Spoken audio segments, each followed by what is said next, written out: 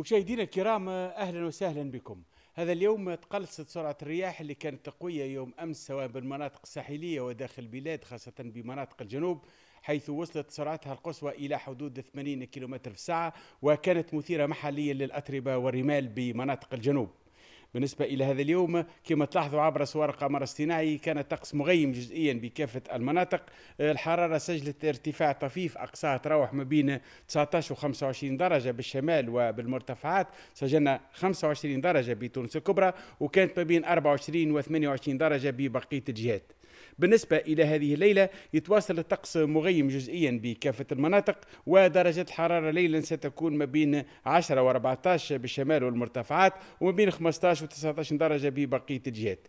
يوم الغد إن شاء الله آه، سيكون الطقس مغيم جزئيا في بداية النهار ثم تتكاثف السحب بمناطق الشمال والرياح ستكون من القطاع الشمالي بمناطق الشمال ومن القطاع الشرقي بالوسط والجنوب حيث نتوقع غدا رياح قوية بمناطق الجنوب تكون مثيرة محلية للأتربة والرمال مما يحد من الرؤية الأفقية بمناطق الجنوب.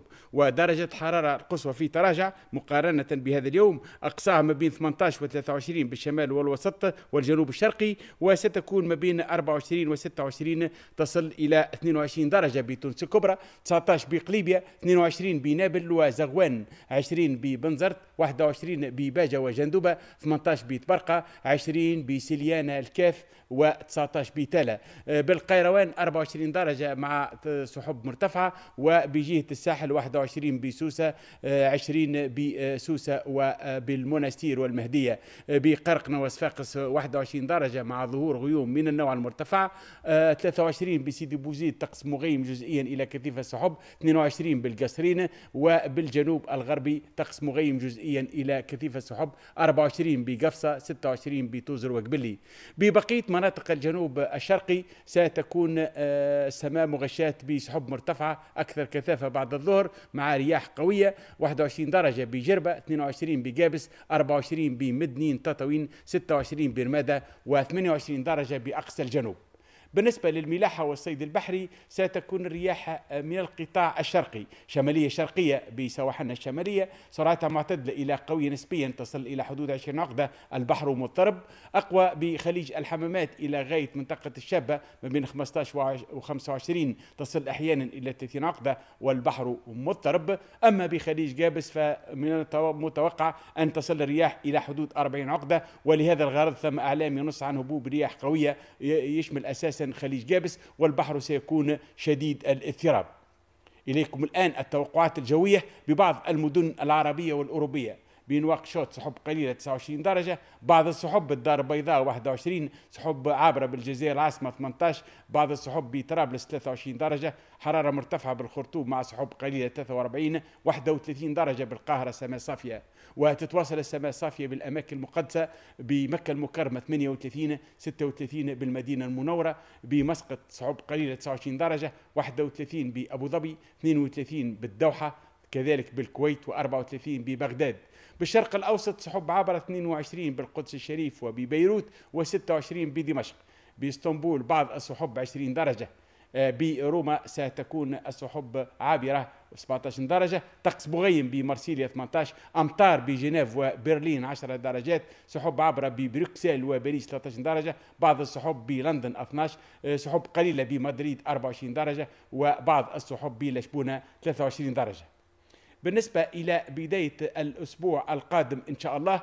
من المتوقع أن تكون العوامل الجوية ملائمة إن شاء الله لنزول أمطار متفرقة خاصة في العشية وفي الليل بمناطق الشمال ومحليا الوسط وكذلك ببعض مناطق الجنوب الشرقي. الحرارة ستكون أقل من المعدلات ما بين 19 و 21 درجة بمناطق الشمال المرتفعات والمناطق الساحلية الشرقية وما بين 23 و 26 درجة ببقية الجهات. وتتواصل الرياح من القطاع الشرقي قوية قرب السواحل ومعتدلة إلى قوية نسبيا داخل البلاد.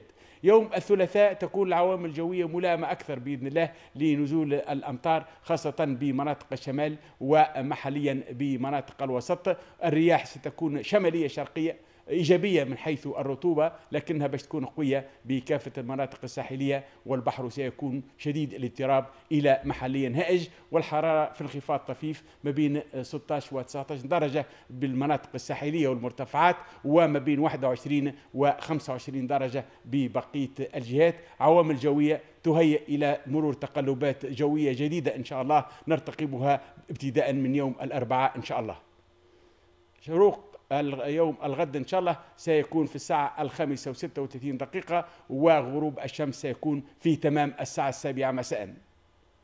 لمزيد من المعلومات تفضلوا بزيارة موقع الويب الخاص بالمعهد الوطني للرصد الجوي أو استعمال الموزع الصوتي على الرقم 88 40 صفر أربع مرات.